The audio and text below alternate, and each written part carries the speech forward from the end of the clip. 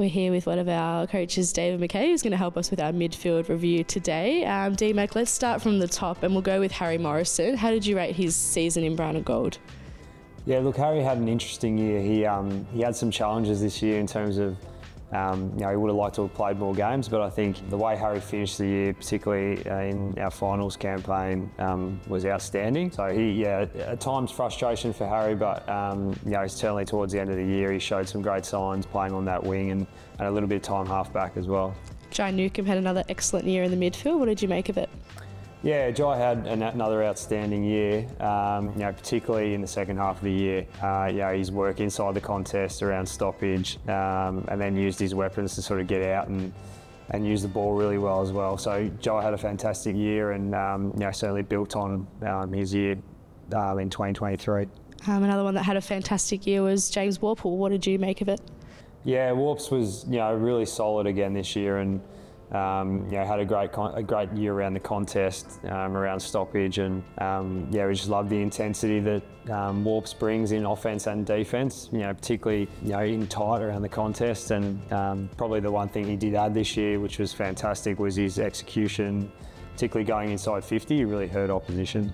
Um, Ned Reeves, what did you make of his year? Yeah, Ned had a really challenging year.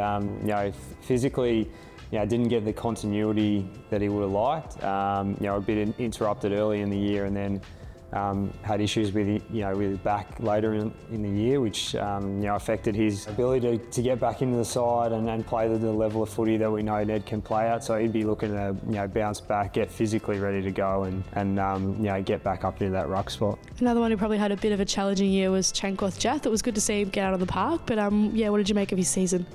Yeah, look, I think it was a really good learning year for CJ, and um, you know, he learned a lot of physically about what, what he needs to do to keep himself on the park. And I think he played 11 games in a row at one at one stage, which was um, you know should give him a lot of confidence going into next year that. Um, you know, when he can get himself right physically, he can, um, you know, be a key player for us. And you know, we really love what CJ brings to the team, and um, looking forward to seeing more of it great to see Connor Nash continue to showcase his versatility, I thought, in 2024. What did you make of his year? Yeah, Connor was really solid again this year and um, yeah, playing a variety of different roles in that midfield. So he obviously spent some time with, in the ruck and on, you know, on, on, opposition good players and roles in that sense. So yeah, he, his flexibility in there um, and his willingness to do whatever the team required is really critical for us. And um, yeah, he had another really solid year. Another one who had a solid year was Will Day. Um, what did you think of his season?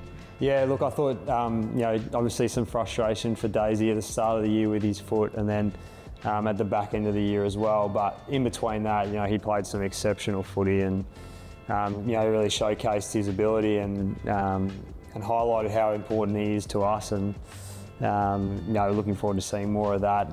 And, but yeah, in terms of Will Day, um, you know, the leader as well, like um, really stood up in key moments for us throughout the year and, and led the way. So, um, yeah, Daisy's footy, the, play, the footy he played this year was exceptional and looking forward to seeing more of it. Massimo D'Ambrosio was another one that was um, had a really successful year, named in the All Australian squad in his first season in brown and gold. How did you see it? Oh, look, Mass was outstanding this year and um, you know, he, the, the, work that he's put in to his game and, and um, I guess the improvement that he made across the year was um, was first class, and you know he got recognised and and duly so. Um, but yeah, his ability to sort of play on that wing on the wing and um, impact the contest, and and then also um, hurt the opposition with his ball use. were features of Mass's game, and yeah, it was really rapt to see him uh, make the progression he did. Another big improver was Lloyd Meek in the ruck. Um, how did you see his season? Yeah, look, Meeky was was exceptional. Um, you know, he's been working really hard over the you know since he arrived at Hawthorn to to um, you know cement that spot, and I think. Um, you know, we saw sort of the fruits of his labour, and yeah, I think he added a level of predictability to our midfield, and um, you know, works really hard um, during the week to, to get the best out of himself, and we sort of saw the the benefit of that, um, you know, his work in the contest, his work around stoppage um, was, you know, gave our midfielders great opportunity to to excel at that part of the game. So yeah, Meeky was a great success story for the year. Josh Ward obviously um, knocking on the door for a number of weeks in the VFL. He got his chance, you know, in the finals of, of all things as well. Um, how did you sort of see his season?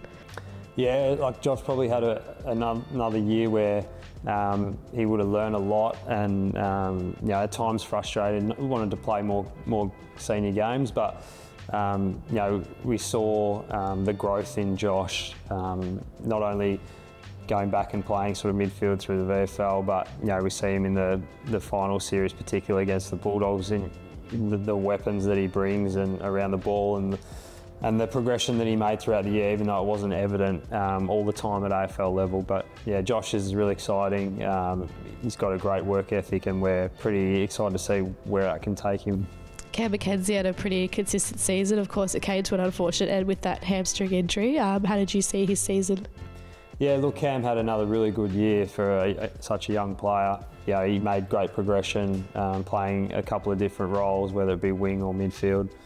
Um, you know, Cam's got some great attributes and great weapons that um, we're starting to see more and more of. Um, and it's just about for him building consistency, becoming comfortable, even more comfortable at the level. And I think we're seeing that as, as he goes on. And um, like you know, a lot of our young mids, we're pretty excited to see what Cam can do going forward. Finn Maginness was a bit like Wardy in the sense that he had to um, sort of bide his time in the VFL and wait for his opportunity at AFL level. How did you see his season? Yeah, look, we were rapt with Finn's season. Um, you know, his flexibility and I guess the different roles that he can play as coaches gives us great options for for, for every game. And um, you know, Finn, um, I guess the thing he did add to his game this year was um, that capacity um, to, to play different roles. So play forward, play wing, um, and he saw it. You know, particularly in the final series, um, you know, his performance was was really strong, which you know holds him in really good stead. And yeah, we thought we saw a lot of progression from Finn. So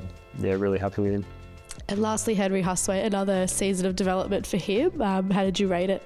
Yeah, look, I think yeah, Huss made some big inroads as well this year, and um, you know his pre-season coming into the season was outstanding and gave himself a chance early in the year, and then I guess the form of our midfield across the year made it hard for, for Henry to break in. Um, but you know, we saw a lot of growth in the VFL. Um, you know, he's a he's a great stoppage player. He's got elite hands, so um, that's something that you know we're pretty excited to see where that can take him and, and if he can push up into that midfield bracket early next year.